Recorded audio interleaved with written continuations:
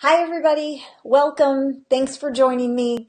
I love it when you're here for these Facebook Lives because as I um, put out posts earlier this week, I gave you some little um, sneak peeks at what we're going to start talking about. And we are going to start talking about hormones.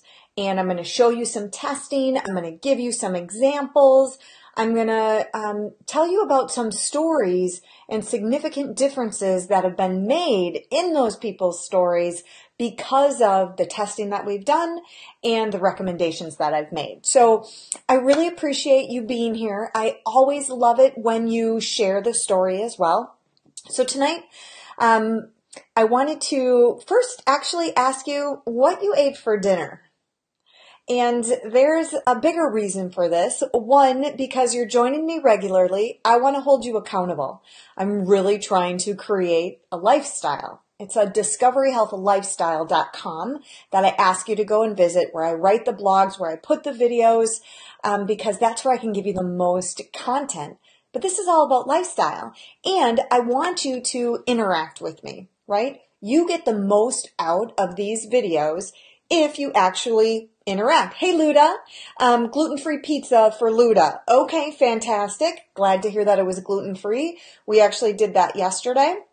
Um, and it's okay. It is, um, you know, is it the best thing we could have eaten? Well, no, but sometimes do you need to just have a pizza that you're not allergic to? For sure.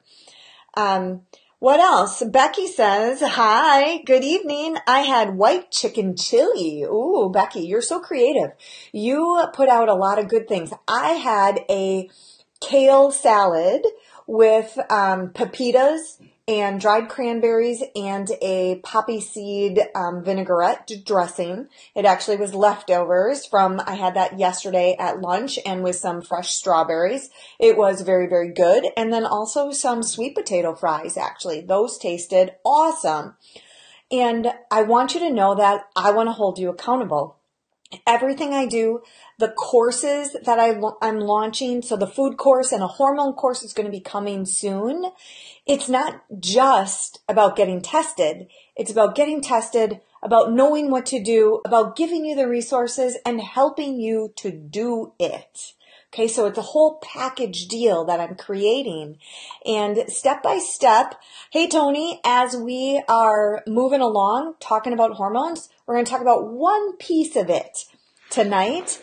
And then we're going to talk about another piece next week. And I'm going to write about it. And so I'm going to be bringing you along on this menopausal madness as well as just about hormones in general. Jackie, coconut curry chicken over quinoa and fresh green beans. Okay, you guys, you're doing fantastic and I love it. Great job. And you know what else you writing those comments helps to do? It gives somebody else an idea. It gives them something that says, ooh, that looked good. Penny had chicken with garlic sauce. Fantastic. So that person who goes, I don't know what we're going to eat tomorrow. And then you end up eating crappy. Well, now you've just inspired some people. You just inspired another woman and her family to eat better because everything you guys have listed is fantastic. So good job. Sometimes, you know, we just need a little boost. We need a little encouragement. And that's been a theme lately. But I've got a great, great story for you. Um, and it's super fun. And I'm going to tie in her hormones because the hormones are the whole reason that she was going a little bit crazy. As my good friend Holly might say, she was full of a little cray cray and she could holler, hardly tolerate herself. This woman is 39 years old. She's like, I'm almost going to be 40 years old and I feel like I'm going crazy. She works in an office, actually a chiropractic office. She gets adjusted regularly, but there's demanding people. It's a busy place. It's got a lot going on. And, um, she actually started by having a thermography because Keep Cool Thermography goes to that office. It's in another town, but she had thermography done and she found out she's got inflammation pretty much throughout her body. She had a whole body scan. There was inflammation around her thyroid. She had started on Synthroid um, a year or year and a half prior to this. And she also had generalized inflammation. She's feeling crazy. She describes Hell Week every single month. Right before her period, she goes through Hell Week where she's super angry and then she cries and she cries and she can't control her emotions. She's telling me about this and this poor woman is suffering. She's like, I'm gonna be 40 years old and I'm falling apart. But she didn't have to. And so I'm going to jump to the end. I'm going to, you know, I'm going to be the squealer here that she is feeling amazing. Okay. So all of this tragedy that she's going through, this feeling, um, just insane, crazy, and then having this hell week where she can't tolerate herself, she can't tolerate anyone around her, and it's getting worse and it's getting worse. So, you know, she got advice from a variety of people and she started taking a supplement because she also has anxiety. Like, oh, she gets really worked up. She gets really nervous. She gets some palpitations. She can't sleep. So she's, she's turning into this nervous Nelly. She's got nightmare of a period that's getting heavier and heavier every time. She's going crazy. She can't tolerate Hell Week and, and she doesn't know what to do and she's taken a supplement that she thinks is helping with her anxiety. So I've been taking this supplement. It was recommended to me for what I've got going on and that really helps with the anxiety, but she's still crazy, crazy, crazy. Okay. It's getting out of control. She's got this other scare now. Okay, my body's really inflamed by the thermography. Okay, what should I do? Well, we needed to get her tested, right? And so we did. I tested her thyroid because one, I wanted to see if she was on the right dose. Was she too high? Was she too low? Was the synthroid doing her a good job? And we also ruled out if she had any autoimmune disease. She was clear with that. Um, we tested her foods. Foods are always a key component because there's something that you do every single day, right? You guys gave me amazing things that you had to eat tonight awesome, way to go. And she wasn't eating that great. So she needed a tool to start changing the inflammation in her body, to start changing her diet and to help her get out of this cray cray mode, right? So we tested her foods and then I also tested her hormones.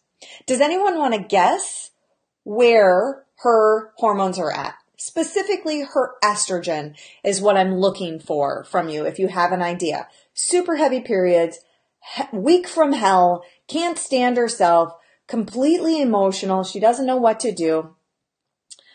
Um, I'm reading through uh, Kayla's um, message here with tons of ups and downs, food sensitivities, hormone imbalance, Lyme, and fatigue, and still don't handle stress very well. Okay, we got to talk about that. Um, venison meatloaf by Crystal, great. But does anyone have an idea?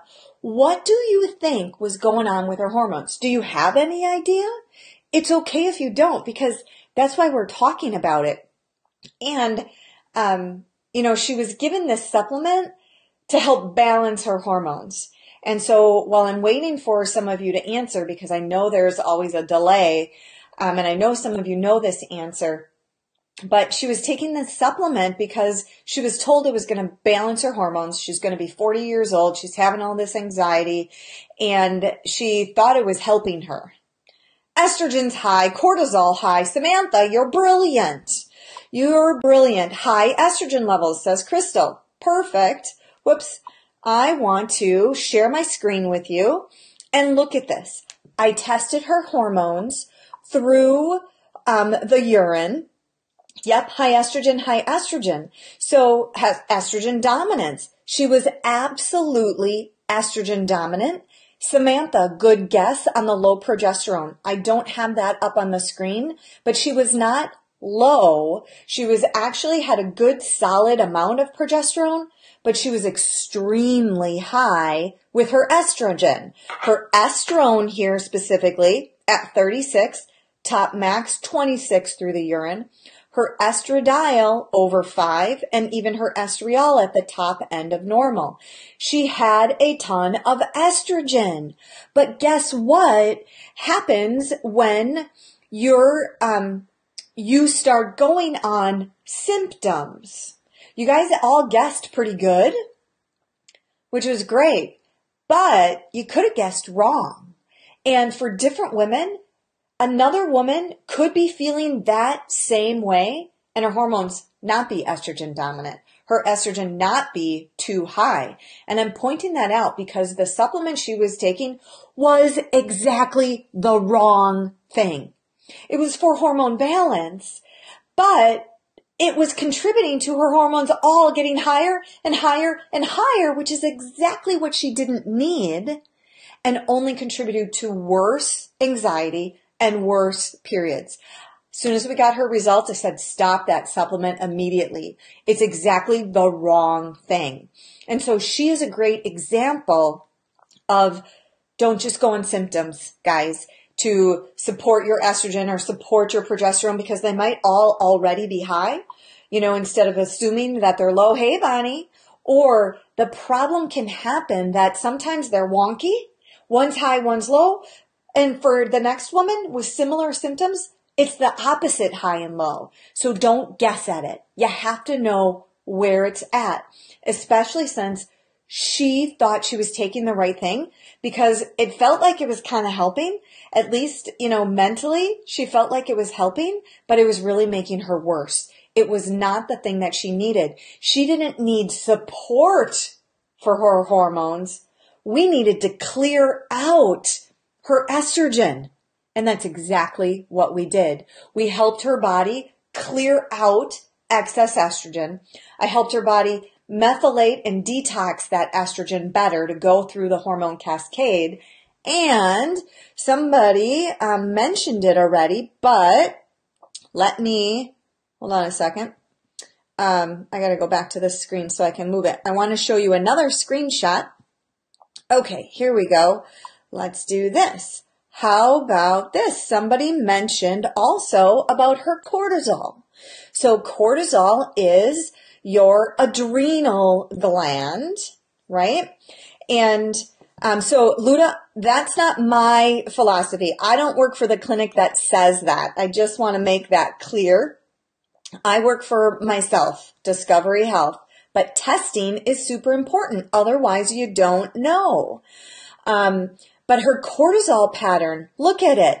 Okay, if I use the cursor here, in her results is the red line, and she's supposed to be in this gray line for both her cortisone and her cortisol. Okay, and where is she? She starts out super high when she first wakes up. Oh my God, she wakes up and she's already whipping her adrenal gland saying, go, go, go, go, go. Because She's got a demanding job. She's taken supplements that she's told are going to be helpful and her hormones are out of whack and she's got stressor after stressor. So we also needed to work to oh, help this poor woman to chill out. So we needed to interrupt this stress response because even when she wakes up in the morning, she's already too high. And then she goes twice if not three times the normal amount she shoots up. Look at how high this is at a level of 300 where the top level here is about 100, little bit higher than 100, but look at that right there. 100 high range limit. Look at her patient value up to 300 in her urine for um, her cortisol. Do you wonder why she's feeling a little anxious? She's got a little bit of anxiety and she can't keep it together and then she's, she's crying and she's mad and she's got the hell week because the hell week is when your hormones change right before your period, right? So, oh, oh my goodness. She's doing fantastic. She, and I wanted to share her story today because she was so gracious We've been working together over three months time. And she told me yesterday that she thanks God for me and that she is so happy that someone referred her to start seeing me. She said literally, you have changed my life. You want to know what I said? I said, no, you changed your life. You changed your food. You started following that. You took my recommendations. I'm here to guide you. But within the first month, she could feel her body starting to chill out. She goes, you know what? Last week was a crazy week at work and I was sick. I had a cold on top of it and there were demanding people and people got really upset. And she's like, you know what? I didn't even feel anxious at all. She's like, that was the best feeling ever. She's like, I'm cool as a cucumber. I'm totally feeling like myself. My period is back to normal. She doesn't even have the hell week. So how many women out there do you think you um, have this hell week and it's normal? Hell week's not normal. Feeling all cray cray all the time, like you can't stand yourself is not normal things are out of whack. And her biggest issues were too high of estrogen, which we helped to clear, and too much stress response. And we needed to break that stress response for her too. Okay. So that's her story. And she did amazing. And she was so gracious and thankful. But really, she did the hard work. I just needed to get her tested give her the right information, tell her what her testing meant. So I know so many of you want to run out and just get tested. There's a lot of things popping up online where you can just go get tested. I just don't know how accurate that is. And I am a firm believer in you gotta know what you're doing. You can't just then start taking supplements to do this or do that to your hormones. You've got to have some education. You got to know what you're doing, why you're doing it to get the results like this woman had in three months. She's hardly taking any supplements at all. She's finishing going through a detox right now and then she won't be taking supplements. She's back to normal. She just needed a little bit of help getting there and somebody who could give her the right direction. Okay, so I know some of you um, want to know more about hormones. So I thought tonight, starting with a case study like that would um, be fantastic, but I want to look at your comments. I want to see what you're writing so that I can um, address that specifically. So Kayla, I'm going back to you. I've dealt with a bunch of ups and downs, starting with learning about food sensitivities. Yes, Samantha, it was a Dutch or precision analytics um, hormone imbalance, Lyme's, and fatigue. I still don't handle stress well and began looking at methylation issues. Um, pyroluria specifically. What do you think of this? So, Kayla, I'm going to have to get back to you because I don't know what that word is. Um, I have to look it up to see exactly what you're talking about. Um, to give you any feedback on that. So sorry about that. I went back specifically for to see what you all wrote there, and I'm not sure what you're asking. Joanne's thankful that she's postmenopausal. Yay! Yet, we still gotta work on hormones, don't we, Joanne? So even though we stop having a period, which yes, can be a nightmare, and it gets heavier and heavier and heavier, usually when we're estrogen dominant, not always, not always, but that's what it often suggests. You need to know, do you have progesterone there too, or do you not have progesterone to know what to do? Okay. Um, Crystal, there's your venison meatloaf. Then we've got answers to the high estrogen. You guys are so smart. You got it. Um, hey, Vicky, uh, Samantha, my estriol and estradiol are like zero. Wait a minute, Samantha, you're like 30 years old, aren't you? If that, sorry if I made you old, but you're really young. That's not good. Estriol is really, really weak, but estradiol is dominant. Why? Now you have to ask the question, why? Young woman, Samantha, no estradiol? That's a problem. There's a reason why, and that's why I mentioned that we did foods on this woman too. The foods are a stressor. Stressors screw up your hormones. Your cholesterol, if you lower your cholesterol, if you're not eating well enough and you don't have enough cholesterol, you won't make those hormones either. So you're either abusing your body you're too stressed out, you're using them all up, or you don't even have the components to make them in the first place. Hmm. 32. Woo! Samantha, you're like 30. There's no reason for them to be so low. Or, you know what? Let's be more positive here. Thank God you got them tested and now it's time to work on them, right? I'm going to show you guys at some point.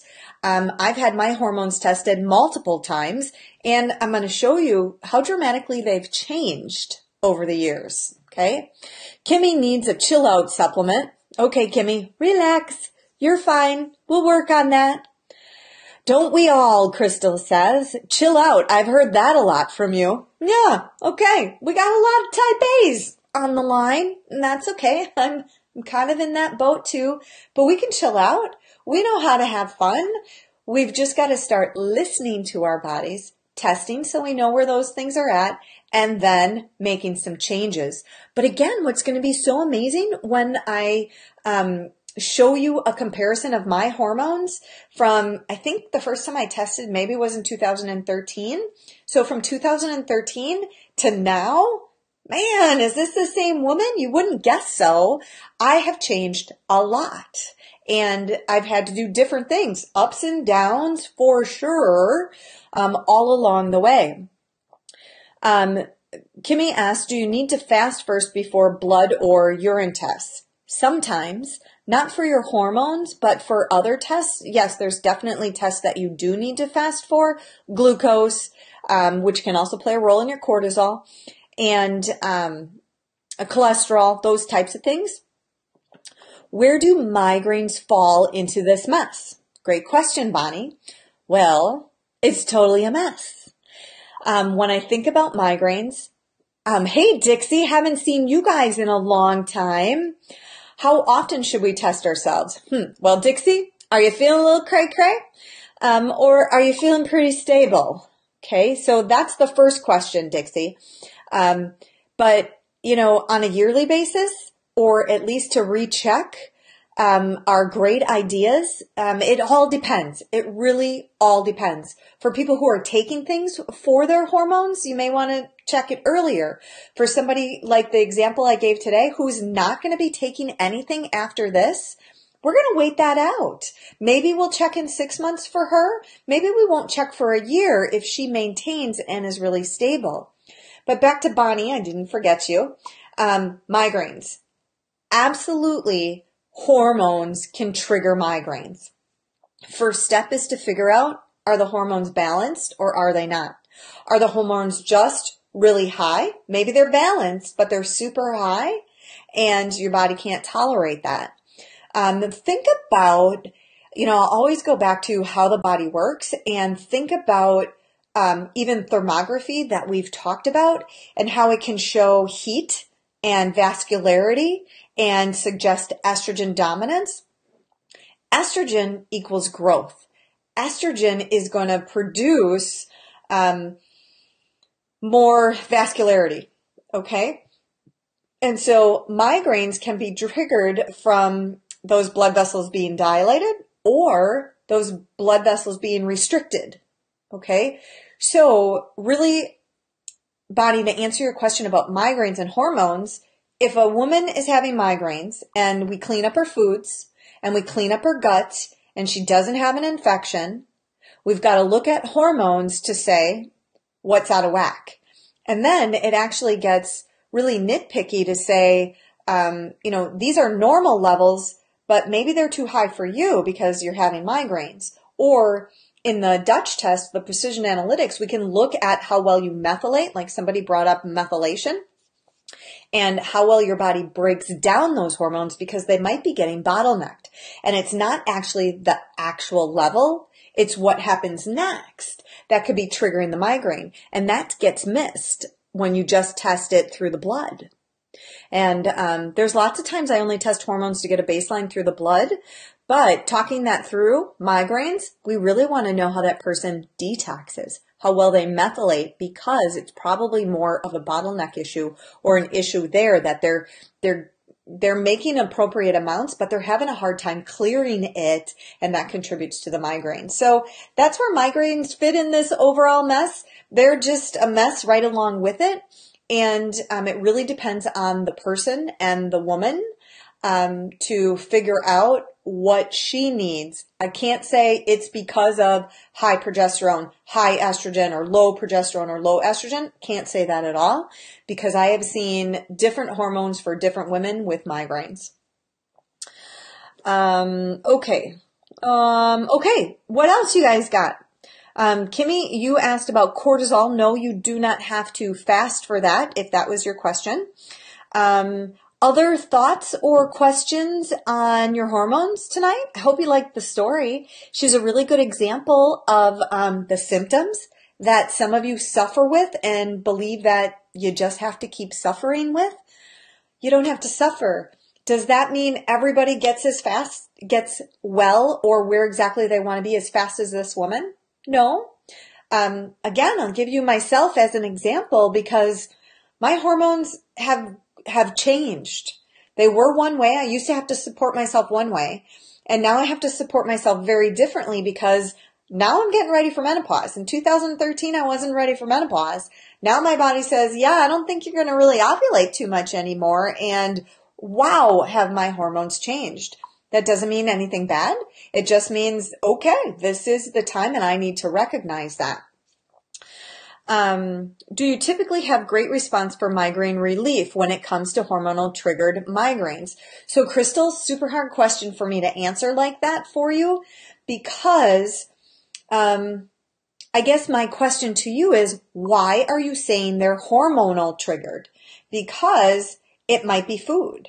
It might be your belly. It might be stress. It might be your cortisol. Maybe it's all of those things that make you more sensitive to your hormones. So it is really messy. It's, you know, peeling back the layers or taking away the low hanging fruit of, you know, unless you've done all those things before, every person is different.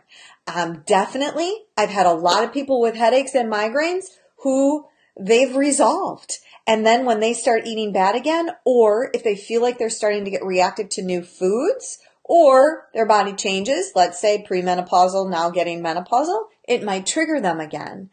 But I do have um, one woman who's in my head specifically who we got her migraines to go away for about six months and then they started to creep back in. What does that say to us though? Her migraines were gone for six months. We did something right. She was following things well, and then they started creeping back in. And we got to figure out that why for her. Why are they back? Okay. Um, so yes, but there are times where, you know, either people, you got to listen to your body. You got to um, follow, you know, a good food regimen because foods, foods, foods, foods can help you balance your hormones, ladies definitely foods can do that and different supplements and different herbs and, you know, concentrating on things, they can help you get balanced with your hormones, but they can also contribute to something getting worse. Okay. So they're not all just balancers. They push one side or the other. Now, typically they won't push it to an excess because they're just nutritional um, or foods, but yet too much of something can throw you off balance and make it more sensitive. Um, Kimmy's eager to get her food allergy test back. Fantastic. Hi, Bev. If I eat flax, soy, and you, you wrote chai, Bev, but I think you mean chia. And thanks for bringing that up. You're um, a great example. You've told me that before, that there's some foods you know which Flax and soy specifically are phytoestrogens and they trigger migraines for Bev. So Crystal, I don't know if you knew that already. Maybe you did, but that's, um, a great example. Same time of the month that I get them typically, I can expect to get one at the end of the month today. Bummer. Okay. So hormones are playing a role. But what I want to encourage you is, well, and you can always start with the hormones, but there's something throwing your hormones off. And we have to figure out those other triggers. You got to look at your stress. You've got to look at your foods. You've got to look at your belly. Look at how well you're sleeping. Look at your cortisol. Those are all other things that can be making that time at your period worse. Whereas if we take care of those issues, you're, you're still going to get your period. Okay. We're not going to change that from happening. That's not the right solution. But if we get that inflammation and those stressors out of your body, then your body can handle getting a period and not give you a migraine. That's one case scenario of what can happen and has happened for many people. Chantel went gluten and dairy free and my migraines disappeared. Perfect! Great job, Chantel. So that's an example of those foods were causing a lot of inflammation. They were an irritation and it helped to clear those migraines. Perfect. I do know that aged cheese and wine is also a trigger, so try my best to stay away. And when you say wine, wine is a vasodilator. Okay. So uh, that woman that I was talking about where we had her migraines gone for six months, she was doing so fantastic. And then they started creeping in. They started creeping back in when it was hot.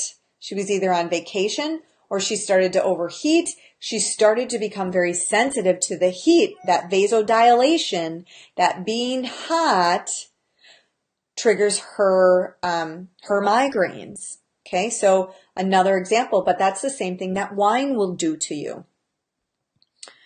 Um, okay. Good to know. We'll definitely be in touch. I'm tired of masking symptoms instead of resolving and taking care of the problem. Absolutely. You got to dive in and figure out what's your problem, Crystal? What is your problem? Because maybe your problem is similar to Chantel's. Maybe it's gluten and dairy and that's going to help but maybe it's a lot more, or maybe it's cherries and apples, or maybe it's you've got a gut infection and that's keeping you stressed, your body stressed and thrown off, and then you're gonna have a period on top of that too, and your body says, I can't take it anymore. And then you got a migraine. So there's lots and lots of different things that all go together that make you special, that make you unique and make you suffer with those migraines. But that doesn't mean that we can't figure it out and start to peel away the layers to get those to improve. Okay. Um, all right, guys, nine o'clock. Um, we've been talking for 30 minutes. I've been talking a lot, but I really wanted to answer a lot of your questions this time. And so um, I'm not sure what example I'm going to have for you next week, but I'm going to do it similar. I'm going to hopefully have a good story to share, and I'm going to show you something wonky about um, her hormones or maybe his hormones at some point, and to just demonstrate we needed to test to figure out what was going on with her, to figure out what to do for her. And I loved this example today because, oh, she thought she was taking a supplement that was so good for her because she was encouraged to take it. And this is just going to balance your hormones. No, no, no, no, no. It was wrong. It, it was not the right thing. Her body didn't need it and she was just fighting it. So you got to be careful with some of those things. Okay. Thank you everybody for joining me. Please share the video. I want to be able to reach new people who need to hear this, this way of thinking as well. And I will be in touch with all of you real soon again. Have a great night. Sleep good.